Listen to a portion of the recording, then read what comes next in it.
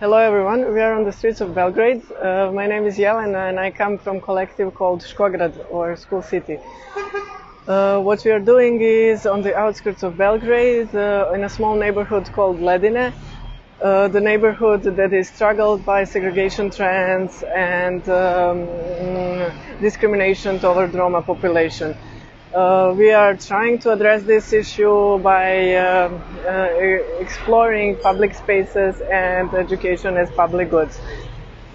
Uh, during the lockdown, most of us spent time in our uh, private spaces in um, Belgrade, Serbia, or uh, some other European countries.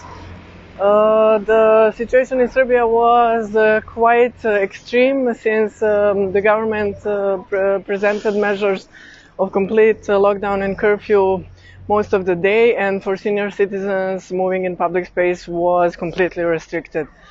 Um, it uh, somehow was different in, in Ledine because the small communities that are forgotten or uh, neglected have this small part of freedom to remain, uh, let's say, um, uh, unrespectful toward measures.